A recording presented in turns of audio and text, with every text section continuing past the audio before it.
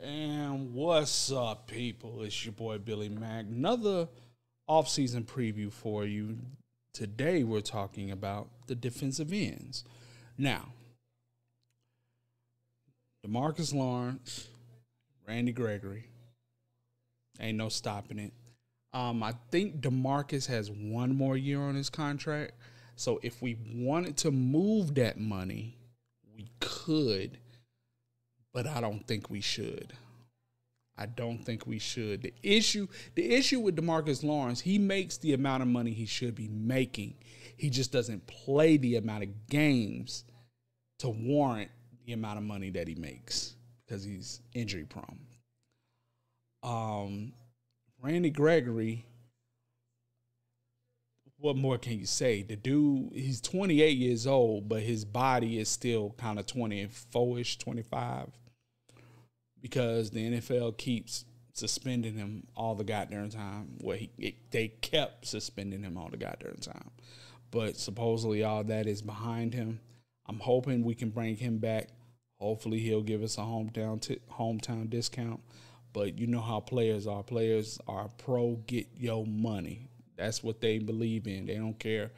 That's why you see certain teams win win every year. It's because they're they're they're not usually spending a lot of money on free agency because they know these players. They know the talk that these players are having amongst the amongst each other, and the talk is, don't, um, what's the word?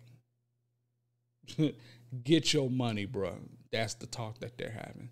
So I don't believe, um, I don't believe Randy Gregory might be back. I'm hoping that he will, but there is it's a 50-50. It's 50-50.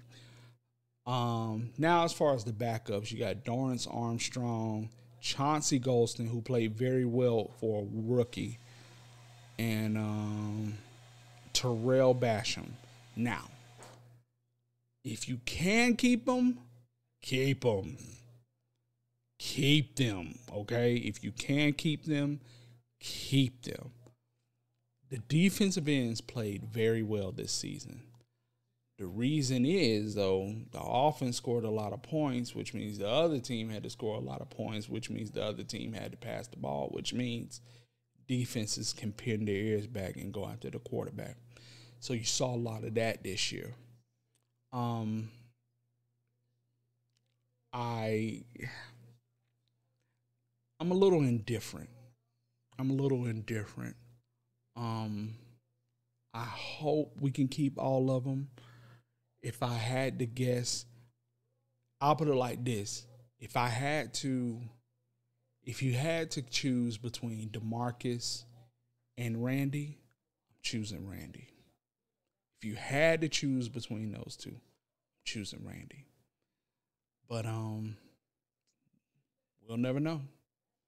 We'll never know. So until then, hopefully we can keep everybody. If not, it is what it is. It's your boy Billy Mack, and I'll let y'all next time. Peace.